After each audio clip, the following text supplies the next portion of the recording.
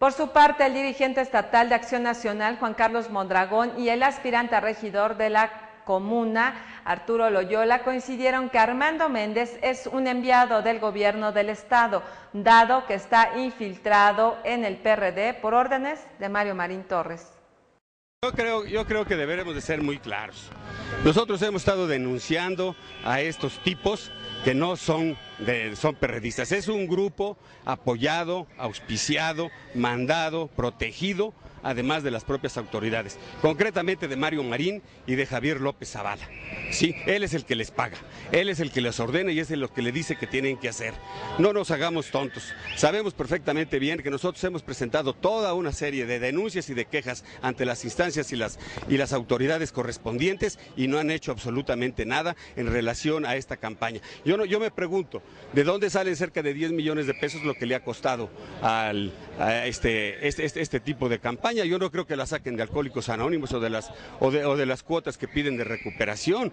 O sea, está, no, sa sabemos perfectamente bien quién es, sabemos quiénes son y lo, y, lo, y lo grave es que se solape por todas las partes de las autoridades, ¿no? Ha, ha venido siendo un, una situación que les lastima.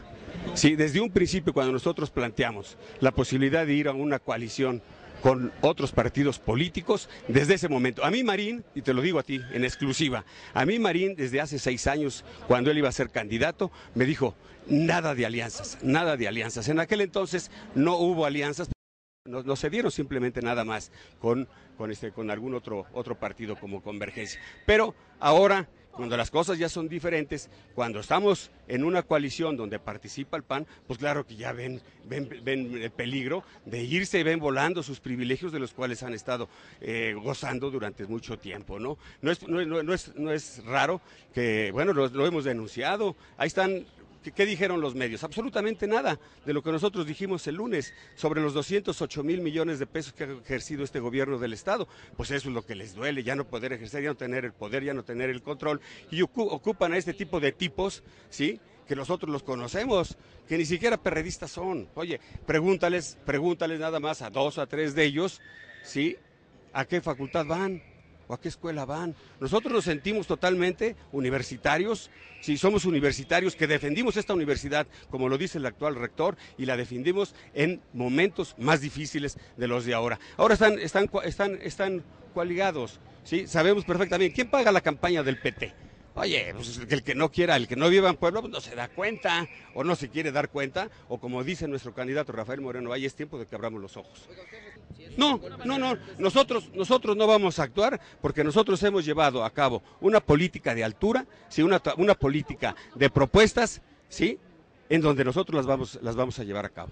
Sí, es una política de, más que nada, de, de, de, un compromiso con la propia ciudadanía y nosotros no vamos a caer en este tipo de provocaciones. Juan Carlos Mondragón aseguró que se va a analizar el asunto de esta situación para determinar si se presenta alguna denuncia penal y en contra de quien resulte responsable, ya que se tendrán que analizar los videos de toda esta trifulca. No tengo la confirmación de este hecho, vamos a investigar, vamos a analizar todas las vías jurídicas. Lo que sí nos queda claro es que el nerviosismo del PRI, los focos rojos están encendidos y que por eso tienen que utilizar este tipo de estrategias para manchar el avance evidente que tiene Rafael Moreno Valle sobre Javier López Zavala. No, no, no, no lo sé, yo estaba dentro, no vi, no vi los hechos, no los presencié, acabo de salir, pero eh, lo que sí es un hecho es que estas provocaciones es lo que buscan, ahuyentar a la gente de las urnas el próximo 4 de julio y nosotros le pedimos a la gente que sea... Eh, muy analítica, que revise muy bien lo que está sucediendo y que no nos dejen solos el próximo 4 de julio. No, no tengo los elementos, no, no, no, no sé, no, no tengo los elementos para decir.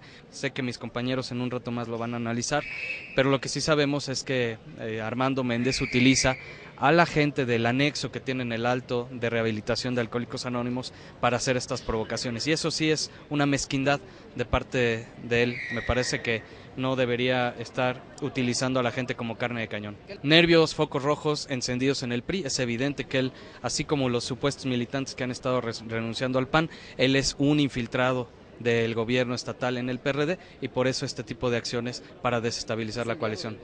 Sí, sin duda, sí, sin duda, los mismos perredistas te pueden dar eh, fe de, de que es un infiltrado de gobernación en las filas del PRD.